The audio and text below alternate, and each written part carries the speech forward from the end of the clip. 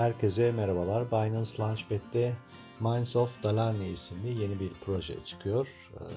Ee, 30 gün boyunca yatırım yapabileceksiniz. Ee, 4 Kasım'da da BTC, BNB, Boost ve USDT işlem çiftleriyle de piyasaya sürülecek.